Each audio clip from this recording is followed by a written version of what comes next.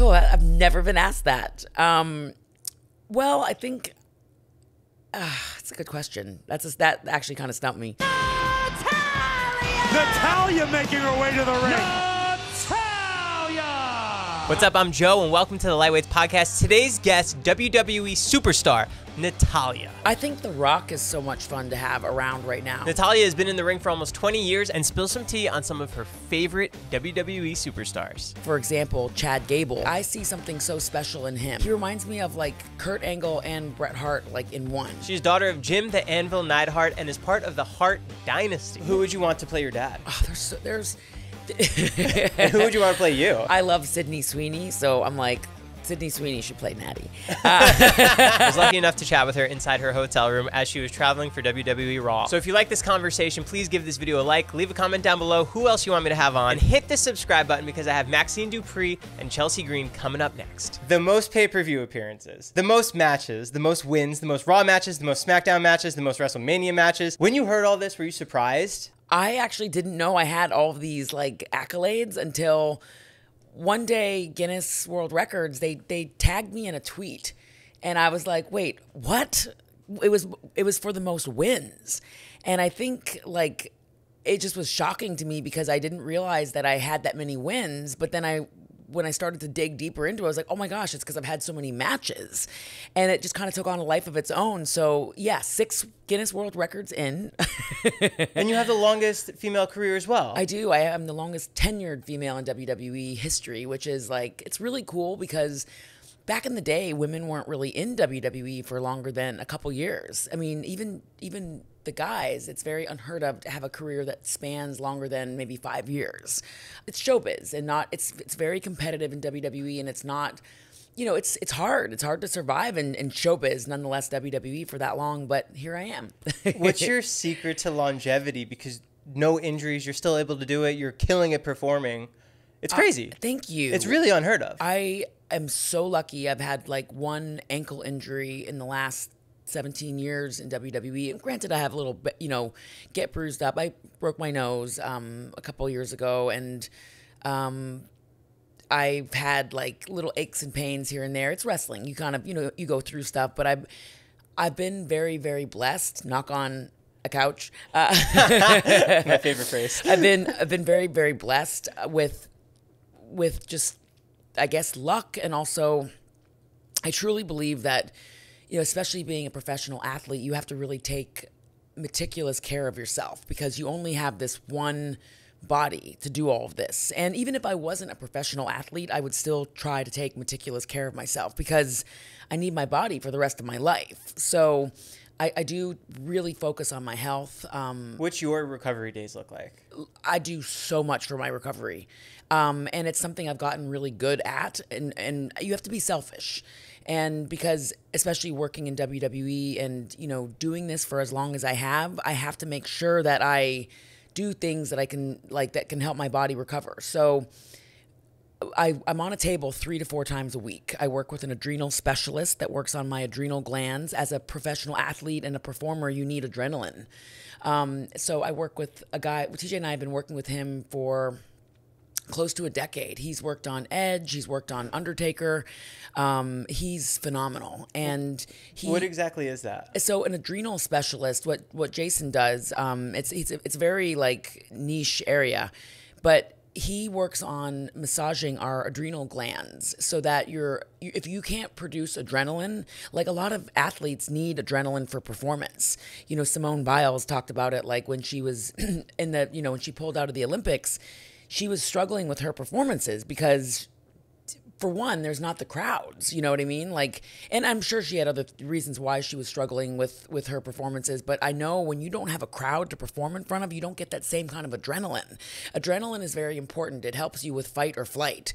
If if you're not like for me, if I'm not nervous and I'm not feeling that rush before I go out, it, it adrenaline can keep you very safe. It gives you that extra edge. It gives you that energy that you need to perform at the very highest level, especially when you're performing around, you know, or in front of millions of people around the world. Um, so Jason works on keeping our adrenal glands really healthy so that you function at your highest level. And then he also works on our brain stem. So it's just like basically a massage. It's a two hour massage on your adrenal glands and, and your brain stem Three times a week. um, twice a week. Twice a week. So, and then I work with an active release therapist, an ART therapist that does stretching. Um, he works like to basically just professionally stretch us out. Um, and then I just go for deep muscle massages on the days that I don't have those. and then I also like, I'm just religious about my vitamins. I love taking vitamins. I take so many different vitamins. Um, it's funny because I, I do I do lab work about every six months just to make sure like I'm not deficient in B12, I'm not deficient in iron, I'm not deficient in, you know, like calcium or vitamin D. And, and WWE actually does that, does a lot of that lab work with us, but then I do it on my own because if you are deficient for if you're somebody that's deficient in something like B12, you'll you'll have very very low energy, and sometimes you might not even know it. So you'll be like, "Gosh, I'm feeling so tired," or "I'm feeling run down." It's because you're deficient in something usually. So I just I really stay on top of my fitness and my my health and wellness, and yeah, I love massages. I love taking care of myself. I, I love staying in tune with my body. You know, if you're even just being on a plane, I just got in yesterday from being in Saudi Arabia. It took us 18 hours to get there. Well, you went to Tampa and now we're in LA. Yeah. So even more. So I went to, so I flew from Tampa to Frankfurt, Frankfurt to Saudi Arabia. I was in Saudi Arabia for under 24 hours. Flew back to Frankfurt, back to Tampa, and then flew from Tampa to Los Angeles. And this is in the span of three days. So sitting on a plane for that long, you know, your hips will get really tight and you'll like feel kind of crunched up.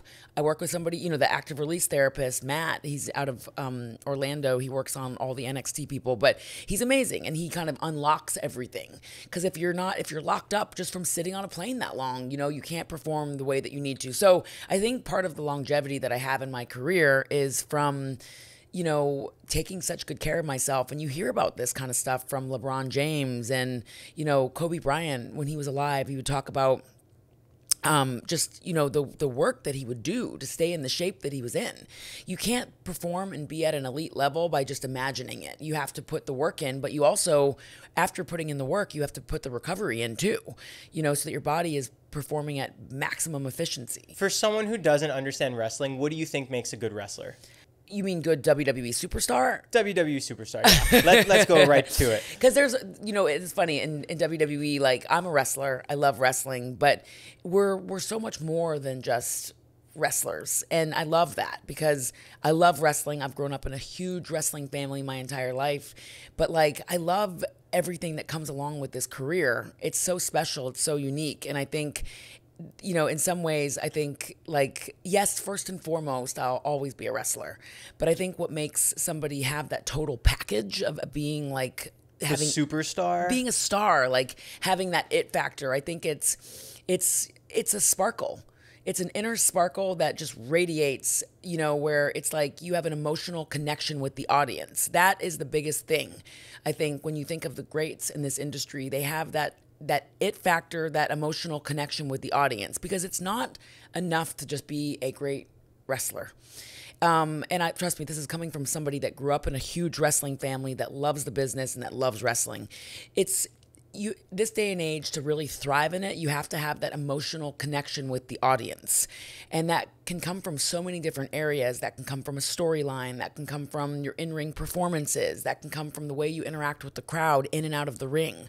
Um, that can come from you know a, a challenging journey that you've been through that the audience can relate to or connect with whether you're overcoming an injury whether you know you know somebody in your family passed away and you're going through that or um, your your struggle to get you know whether it's a weight loss journey or there's so many different factors that can connect you with the audience.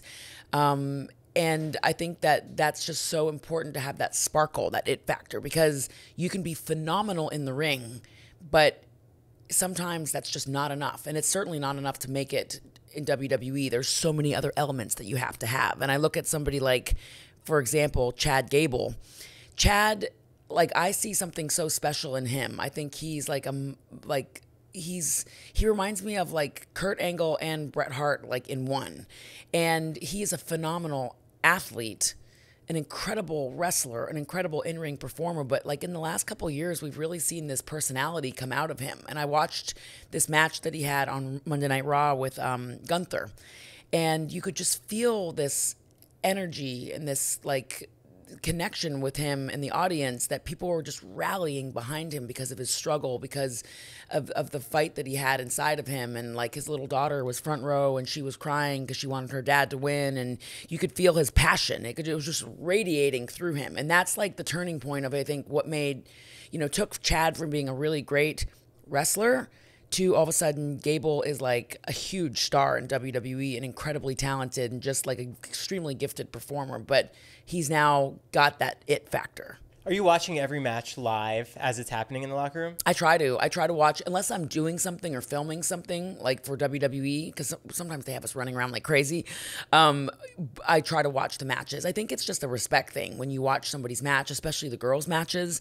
I try not to miss the women's matches because it's nice to be able to talk to the girls when they come back or have somebody talk to me after my match and go, Hey, I love that.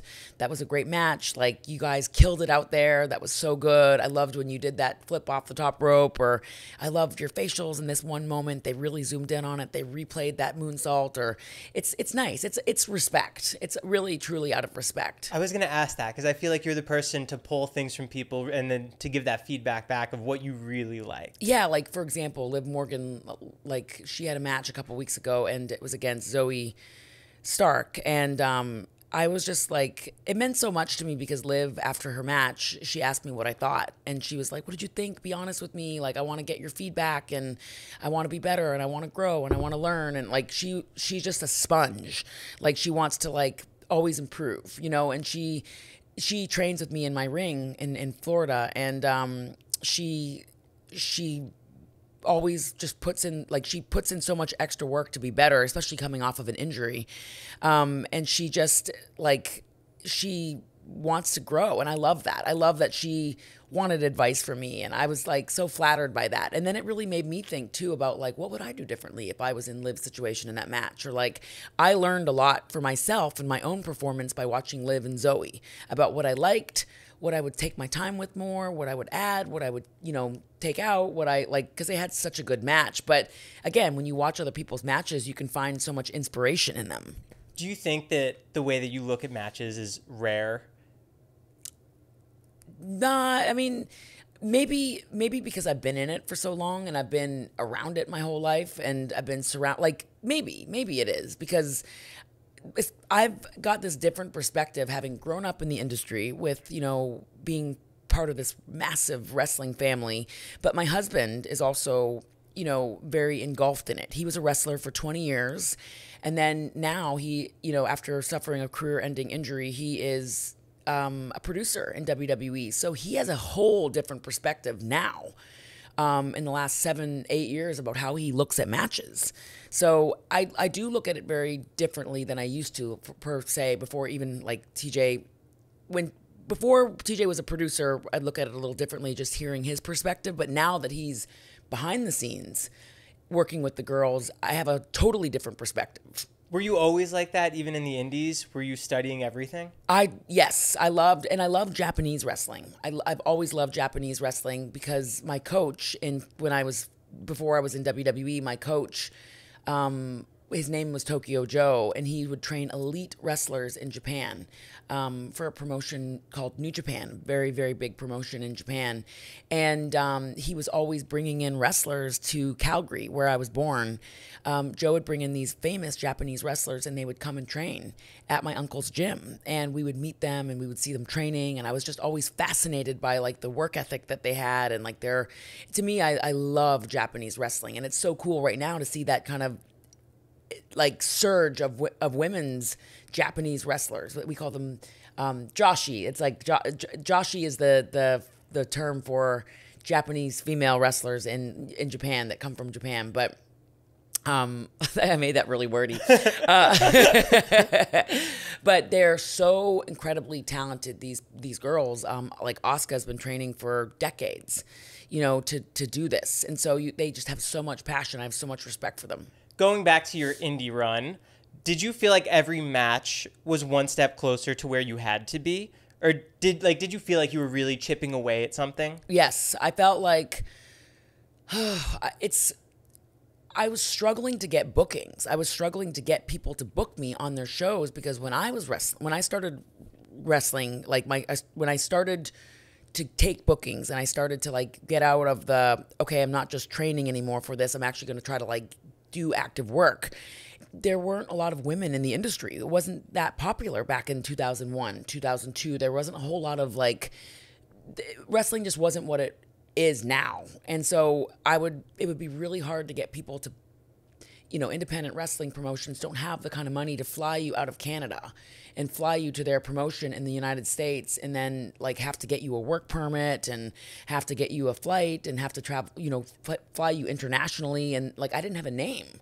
You know, so it's like, well, and then pay you on top of that. So it was very hard for me to get independent work, but I did end up getting a show. My very first independent show was called um, it was at a show called Baseball Brawl in Buffalo, New York, and that's where I met R-Truth for the very first time. And he was so nice to me. He was just such like I always remember how great he was to me, and he just like he was just like I felt like he from from that moment on like took me under his wing and was like I got your back like anything you need and like it's funny because meeting Truth all those years ago um, I can't remember when it was it might have been like 2004 I early 2000s, he's still exactly the same nice, sweet, awesome, genuine person that he is today. And, um, but yeah, I had a hard time getting booked. I just had a hard time. So my uncle had a promotion called Stampede Wrestling. And so they um, would use me all the time on their shows. And then I went to England and worked for a gentleman named Brian Dixon, who just recently passed away. Um, but Brian you know, let me work over there. And although it wasn't a lot of money, it was work. It was the work experience that I needed. And then I feel like my big break was when my coach, Tokyo Joe, got me um, a tour of Japan for with this women's promotion. The name of it um, back then it was when All Japan Women's had just shut down, and the name of the promotion was Next Entertainment Organization (NEO). So I went and worked with them and with Japanese wrestlers. Yes, with Japanese women's wrestlers, and, and I, I, assume you didn't speak Japanese. No, and I lived there for many months, and I lived in a little town outside of Shibuya, which is in Tokyo. It's a huge city in Tokyo, um, but I lived in a little town um, called Moto Sumiyoshi and I was so lonely because I was by, I lived by myself and I would travel in every day to train with the girls. And once I started training with the girls and connecting with them, it didn't matter that we didn't speak the same language because wrestling spoke that universal language. So when we would get in the ring and we would get together and we would we would train and we would perform together, it was so much fun. I I will always always love and respect the Japanese women wrestlers so much. They taught me so much about staying strong and being fierce and fighting for your dreams, truly. And I wasn't making anything when I went over to Japan. I don't think I was making $100 a night. So it was it was hard, and we set up all of our own rings, and it was like you know the the girl wrestlers were setting up the rings.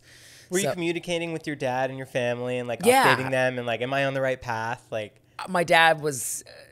My dad became like my biggest cheerleader. At first, he was like, you know, this is dangerous and I don't want you to get hurt. And like, you know, you have to be careful. And like, my dad was just super overprotective. But then, like, he started to see that I liked it so much and that I was doing well with it. And then he started to watch me work and he became like a huge supporter of my work. And um, my family was my uncle um, Bret and my uncle Ross and my uncle Bruce. They were very involved in wrestling, and still, I feel like they still have their hand in it quite a bit. But they were also very supportive of me pursuing my dreams, especially as the first female in my family, the first female in the Hart family to pursue a career in the ring.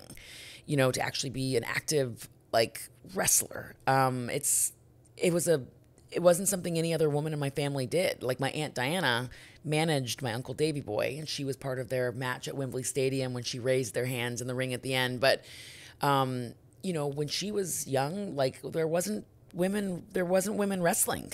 You know, there wasn't women in the dungeon that were training for this. So I mean, that, that, grammatically that wasn't right. There weren't women wrestling. Sorry, my mom would be like, "Listen, your grammar is awful." But she, when she was a young girl, they didn't have that in the dungeon. My grandfather was just he only trained men. So for me, I was blazing this whole new trail for women in the Hart family to do this. The first female in the Hart family to to perform. Were you in the dungeon watching? I would watch in the dungeon, and I actually trained in the dungeon.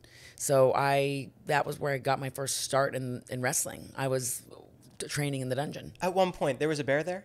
Oh yeah, a bear that lived there named Ted. um, that lived there. that lived in the dungeon. Yeah, Bret actually talks about it. And it- so I don't think it was a huge bear. I think it was a smaller bear, but um, I don't know the whole backstory of why the bear lived at the house. But the bear was treated like a like a pet. That my grandfather treated the, this bear was so spoiled. This bear was eating ice cream. This bear was like, yeah. Bret talks about it in his book. His name was Ted. So and he lived in the dungeon and he would lick like ice cream off of my mom's feet and stuff like that. Like it's crazy. You might think I'm crazy telling a story, but it's like a it's a Hart house tale that that this bear lived in the dungeon. My grandfather had like 25 cats at one time living at the Hart house. 10 dogs, dozens of cats, like there was anim- there was chickens, like there was goats, there was they had um my grandfather had like when the Hart house when he first moved into the Hart house, there was tons and tons of land. So they had their own cows that they would milk and my grandfather, yeah, the Hart house was a zoo. what were your nerves like during your first matches, and what are they like now? I get nervous before every match. Every match.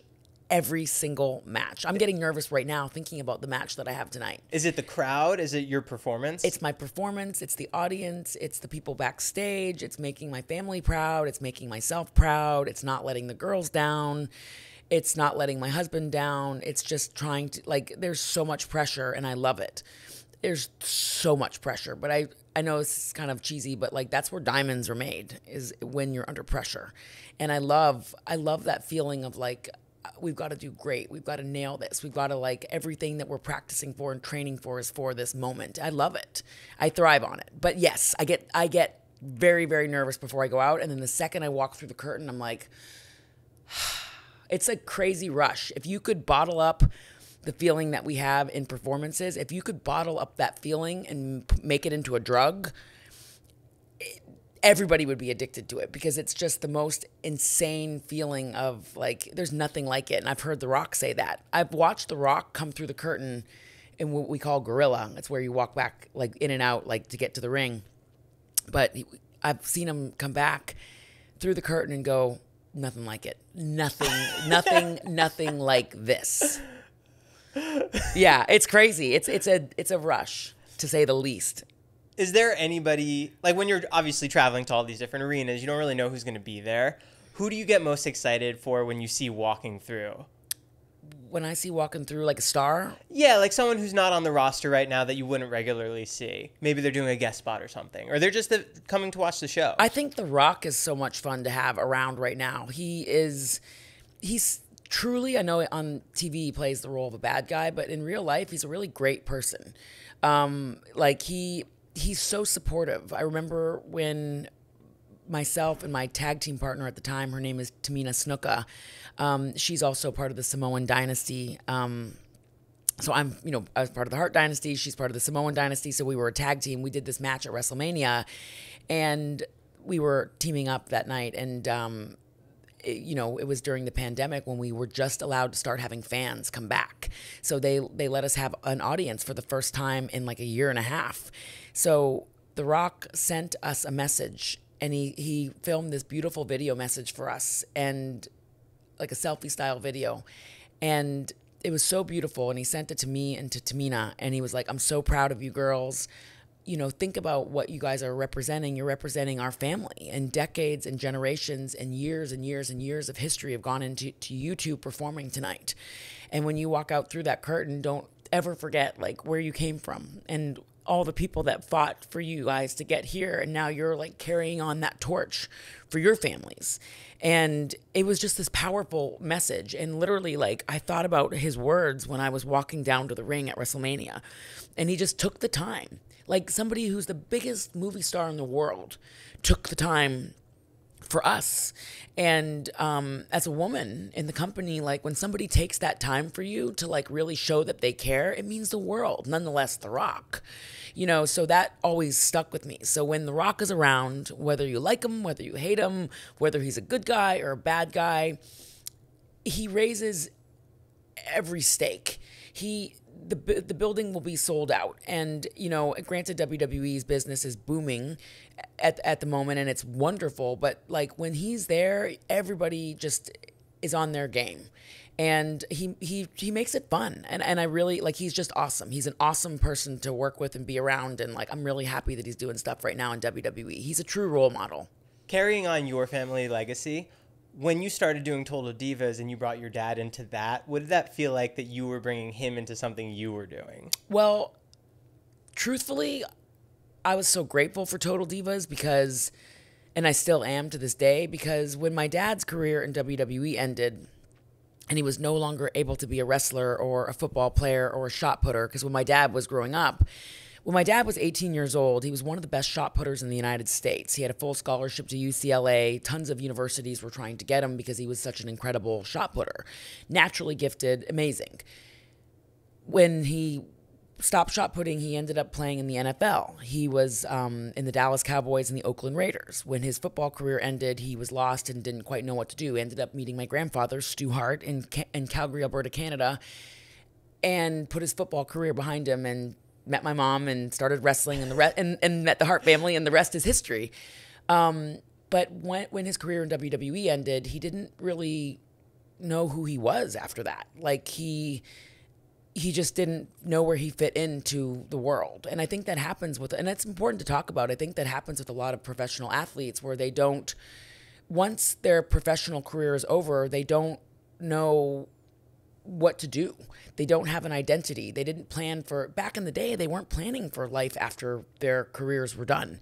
You know, a lot of them didn't, they weren't given those tools. They didn't have people coaching them or talking to them about, mental health and what's the next step and where do we go and how do you start a business. And my dad, when he was in WWE, was just focused on being a wrestler.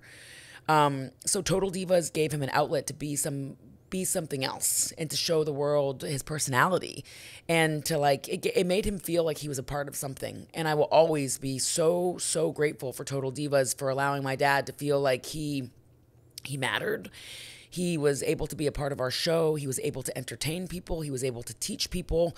He was able to like remind people that it's okay to be human. We covered um, on the show. We covered. I put my dad into rehab um, because he was struggling with addiction. We covered that on the show. Um, we were filming season eight of the show, and my dad died um, while we were filming the show. And I remember WWE, which was very thoughtful of them, and I appreciated it very much. But they said, you know, we don't have to keep filming. You don't have to keep doing this. If you want, we can just give you a break. We know your dad just died, and it was very nice. But I said, listen, I signed up to do this show, and I think it's so important that people see what we're going through. And somebody watching at home might be able to relate. It might be able to go, my dad was going through this, or we just lost a family member, or we're going through something really hard. That to me is what makes that show or that to me is what makes reality TV or you know it, make, it makes total divas it made total divas great was being able to be relatable and sharing the good the bad and everything in between so my dad got a lot out of that show but i think people actually inadvertently got a lot out of watching my dad because they could see that he wasn't just you know he wasn't just a wrestler. He was a person that was real and he was relatable just like everybody else. If it ever came back would you want to be part of it? Of course of course. I'm always always always fighting for for for more for the women in WWE and I think it's important when you're in WWE you have to you have to advocate for certain things that you want to do and of course I would love to see something like Total Divas come back I think it was a great um, you know and it doesn't necessarily have to be exactly like it was before because sometimes that's hard to duplicate what we had you know like you don't have the same cast and the dynamics are different and but like it's it would be really cool to reinvent and do something very modern um, and new and kind of fresh, but like kind of still that vibe of Total Divas. Um, I would love to have it. I would love to do that, and I would I would love to I would love to do another like a revamp of Total Divas. I think it'd be so much fun. But what it was great for doing as well, it was that it was like I would meet so many women that would come up to me and go, I never ever watched WWE, but I watched it because of Total Divas. I watched Bravo, or I watched, you know, The Real Housewives, or I watched The Kardashians, or, you know, we watched Total Divas after The Kardashians, and we were like, whoa, we never, you know, we never, we never thought we would watch WWE until we watched you girls on Total Divas. Then they're bringing their kids and their husbands to the shows and they're coming to WrestleMania and they never were wrestling fans before. So it kind of what's great about it is is that it gets people that never watched, especially women that never watched the show, watching WWE. And then women make a lot of decisions in the house. So then they bring their kids and they bring their husbands. And then all of a sudden they're all wrestling fans and they're all going, Can you smell what The Rock is cooking? Do you have a favorite moment from that show? I have so many favorite moments. Um, I love, I love, love doing that show. Um, that we would do some really fun cast vacations, and I remember so many great. Oh, my wedding! I think my wedding would be my favorite moment. Like, yeah, the cast vacations were fun. I threw somebody's luggage. I threw Lana's luggage into the ocean at one point. I remember that. I may have had some tequila that night.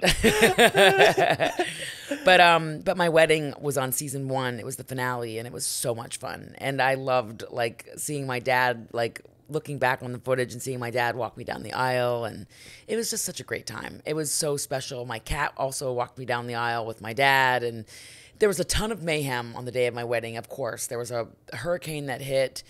Um, it was a crazy storm. Um, my cat ended up getting sick. Um, my sisters were fighting with each other. One of them may have Peter Pants laughing. I don't want to get into that, but I won't name who.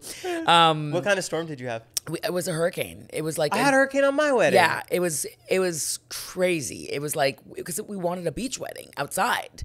And I didn't So realize we. it, it was so hot that my dad wanted to walk me down the aisle with no shoes on, and I was like, "Daddy, you can't like it's this is you can't do that." And uh, my dad was like using my hairbrush to brush his beard, and it was it was so. I look back at it, it was just such a funny, funny. It was so fun. It was, but it was chaotic. Yeah. Uh, that would be my favorite moment on Total Divas. What do you think you added to the Hart legacy? I think. What do I add to it? Yeah. Oh, I've never been asked that. Um, well, I think uh, it's a good question. That's that actually kind of stumped me. I'm really humble. I, I take pride in being humble. I don't like to like go on about you know what what makes me great or what makes me great for the family. But I think I'm so proud to be able to continue to carry on like the torch that my grandfather passed on to my uncles and that my uncles passed on to me. Um, that makes me so proud because I feel like I've I feel like I've done my family's name like I've I've done the name proud. And it's not easy to be a woman in this industry. It's certainly not easy when you're following in these massive footsteps when your uncle is Bret Hart or Owen Hart or the British Bulldog or Dynamite Kid. Your dad is Jim the Anvil Neidhart. I just named like four Hall of Famers there. Um, and your grandfather is Stu Hart. Like to follow in those footsteps and to have to like blaze your own trail. I feel like I've really been able to keep my family's name alive. And I'm proud of that. I'm so proud of that. And I've been able to do it in such a positive way where people can still think about the Hart family and see it alive and, and well today. And, and they can, when they watch me perform, they can think about my uncles and think about my grandfather and go, wow, like, you know, it's so cool to see like a Hart still doing this. I'm just, I think it's, to me, it's so important to keep my family's name alive the biggest, biggest, biggest thing for me is to continue to honor them and to continue to keep the name alive, to keep the dungeon alive, to remind people of what the dungeon was, what my grandfather started in 1955, um, to keep the Hart family name alive, and to really make sure that my family is honored and represented the in the best possible way. Is your training facility the dungeon? Well, it's a it's it's called the dungeon, yes, but it's actually named after my grandfather's dungeon. So my grandfather started the original dungeon in the 50s when he bought the Hart House in Calgary, Alberta, Canada, and um, it's a it, the original dungeon was just this little room with a mat and a couple windows and these wooden walls. And my grandfather had his own weights down there. He had his own like like he he welded his own weights that said the that said his name Hart on the weights and um, it's where some of the greatest professional wrestlers in the world learned how to work, learned how to wrestle, learned how to hone their craft. Wrestlers like the Dynamite Kid and Brian Pillman, my dad, Owen, Bret, Davey, um, uh, Gorilla Monsoon. Gorilla Monsoon trained with my grandfather in the dungeon. Um, my grandfather actually broke in the Von Erichs. He, my grandfather Stu, is the reason why the Von Erichs got into professional wrestling because my grandfather met Fritz Von Erich in Edmonton, and Fritz was was meeting with the Edmonton Eskimos, a football team, because Fritz was a football player. So Fritz von Erich met Stu Hart, and Stu said, "You're big. You're a big guy. You should get into wrestling." Next thing you know, Fritz von Erich and his wife and his family were moving in, into the Hart house on on the property. They lived in a little trailer on the property and my grandfather broke Fritz in to wrestling. And so I thought that was so cool because we've just seen the success of the Iron Claw. Did you see it? I did, and I loved it. I thought it was so well done, and um, it was very inspiring to me. Uh, that movie inspired me so much, and I just I couldn't believe like because I saw the movie and I texted Bret and I said you have to see this movie. It's so good. It's so touching. It's really powerful. And Bret told me the story about Fritz getting into wrestling through my grandfather. So I thought that was just so cool because so many people are connected to my family in such a special way. Has there ever been talks about a Hart family movie? There's been talks about a movie. Um, I can't like I, have been. It's it's funny. I'm not sworn to secrecy, but I I'm not allowed to say entirely what it is. It, it's when we say Hart family, it, it it that's very vague it's a very the Hart family could be a bunch of things because listen, the Hart family there's a ton of meat on the bone. You could you could do a movie just on my grandfather Stu Hart alone because my grandfather how he even got involved in wrestling was because he was a homeless child living in Saskatchewan, which is a place if you know Canada, Saskatchewan's one of the coldest places in Canada. And my grandfather lived in a tent and slept in between dogs to stay warm. And his the only and there's been many books and things written about this, but it's my grandfather's legacy. Um, the reason why he started wrestling was because he just needed a place to stay warm. So he joined the YMCA as a place to like get refuge, a place to go inside, a place to like, you know, just stay, literally find shelter. And he took up amateur wrestling, literally as a place to stay warm out of the snow, and became amateur wrestling champion of Canada. So wrestling saved my grandfather's life, literally. Who would you want to play your dad? Oh, there's there's. who would you want to play you? I well, it's funny because like I love Sydney Sweeney, so I'm like Sydney Sweeney should play Natty. Uh, um, I think Sydney Sweeney should play me. Um, and I know that, but she's like, I think she's so talented and like, she's so pretty. So, like, I'm going to go with somebody that's really pretty. um, I've said this in interviews before, but I think it's worth saying again. I love Paul Walter Hauser, and I think he's so talented, but I love that he loves wrestling you know and i and it's funny because i he is a huge wrestling fan and I and he's he loves the industry. He's passionate about it. He's wrestled. In his acceptance speech at the Emmys, he um he like called out Matt Cardona in his acceptance speech and was like cuz he's getting ready to have a match with him or I think he had a match with him he's about to. Um but Paul Paul Walter Hauser loves wrestling. He has so much respect for wrestling, but the more I look at old footage of my dad, the more that I'm like, "Oh my god, Paul would be like a great Jim Neidhart. Like he has like it's I've said this before, but I can't unsee Paul as my dad. I think he would play such a great Jim Neidhart, and I love that he loves wrestling and um, he's passionate about the industry. And like when I when I start fantasy casting, I would I would cast Paul, um, but then like there's so many different people that I would think like who would play my grandfather. You know, like my grandfather, he's such a stoic, handsome man. Um, and then I think about my grandmother, Helen Hart, who would play her, and like, because she was such a beautiful woman. So there's so much meat on the bone. I think when you think Hart family, people go directly to like just Bret, Owen, you know, my dad, Davey. It's it's it's more. It's there's so much to my family, and I think that's what makes our family special. That's why like something like a movie on our family. Um, there's just so many possibilities. When's your book coming out? My book. Uh, Are you working on it? um, I have been approached to write a book, and it's something I'm really interested in doing. Um, 2024 is going to be a year of huge growth for me, and I'm really excited about it. Um, there's a lot of change happening for me, and a lot of positive, like positive growth. Um, so I'm I'm really excited about what I'm going to be doing this year and the projects that I'm working on. It's to me, it's the year that I've been waiting for. And people say to me like, "Oh, what what more do you want to do in WWE? Or are you happy where you're at? Or what what like what are your feelings? Or you know, do you still want to do?" do this or that and it's like i still want so much more i want so much more I, i've been fighting for so much more for so long and i think that's what's kept me in wwe for 17 years is that i've never stopped being hungry i've never stopped going to work like it's the my first day on the job I've never stopped fighting for my dreams, fighting for opportunities, fighting fighting to be the best, fighting to honor my family in the way that they should be honored. Like I just I have so many more dreams and so many more goals that I want to accomplish. And this year is like a big start for that for me. Is it easier now with Triple H being there since you've worked with him and you've kind of seen him in the locker room that you can approach him with ideas? Well, the thing with Triple H is that he's he's younger. So it's not to say that like uh, and again, I'm not age shaming anyone. I I, I think that with Triple H he used to be a wrestler. So he was in your shoes. Yeah, so he knows what it's like to be a talent and he knows what it's like to do this. He knows what it's like to go out there and to excel or to make mistakes or to grow or to get I mean, he's been he tore his quad once in the ring and finished the match.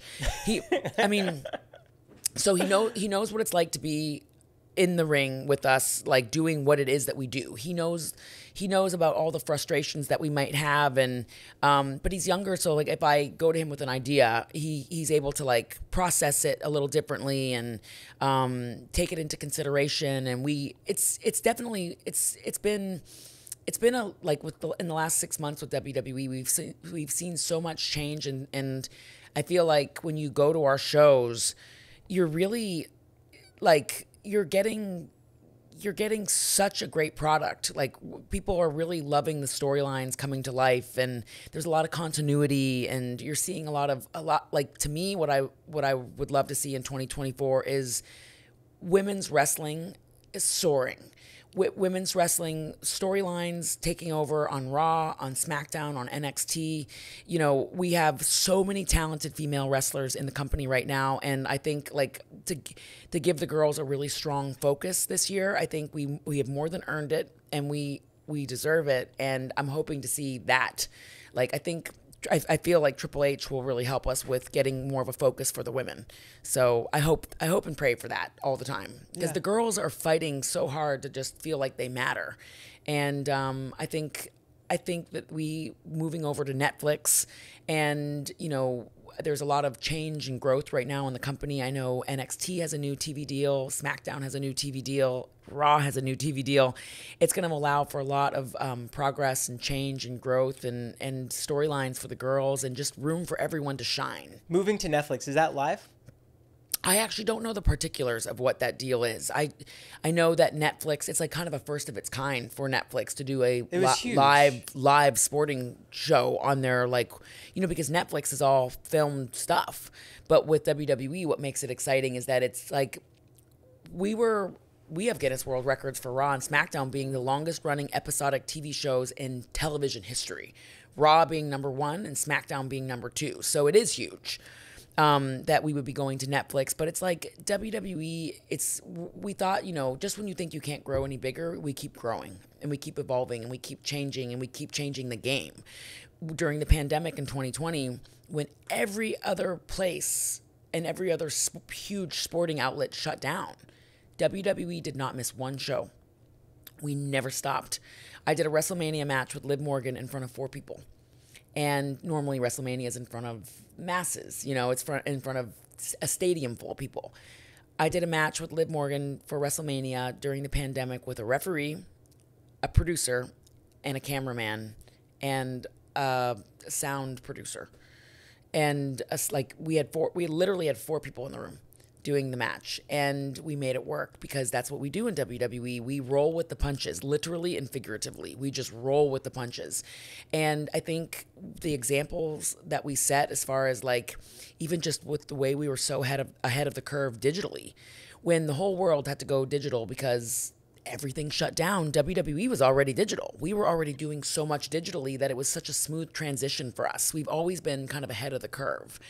And we were able to just jump right in. It's like, okay, there's a pandemic. We can't have fans, but we're not going to stop giving people entertainment. We're not going to stop giving people a reason to tune in on a Monday night when they're when the whole world is stressed out. We're going to give them some relief, and we did. And I'm so proud that we worked through all of that because it was not easy. Listen, not, performing in front of a performing in front of a crowd is so much fun. Try performing in front of no crowd it's not the same, but we still did it. We still pulled it off, and we we like showed that anything is possible. It's ever evolving. always adapting. And I think that's why you're so successful and you've been doing it for so long is because you are able to do that on a whim. Um, Yeah. I know you have to get to an arena soon. Yes, I have a big match tonight. So thank you so much for making the time, making this happen in the hotel room. yeah, we got to we got to mingle in a Marriott. Yes. Um, but no, it's great. I I always feel like whatever it takes, whatever it takes to like make these connections. I love your show, um, and it's it's funny because you know you get to like almost live vicariously through people through social media, and so you do such a great job with your show. So when you asked me if I would be on your show, I thought it was a huge honor. oh, I was honored you responded. and I was like, this will be great. It'd be so much fun to like, and I love supporting people that built their own businesses and, you know, have a dream and a passion for what they do. And I, I feel like you do. And you started from the ground up. So I think that's so awesome. And I have so much respect for that. So, yes, thank you so much for having me on. It was such an honor. And I hope everybody enjoys watching this as much as I enjoyed filming it. Thank you, Natty. Uh, all of Natty's links are going to be linked down below, so go check her out. And yeah, we'll, I'll see you at the arena tonight. yeah, that's awesome. Lightweights out. Thank you so much. You're so welcome. That was, was great. great. That was a great interview.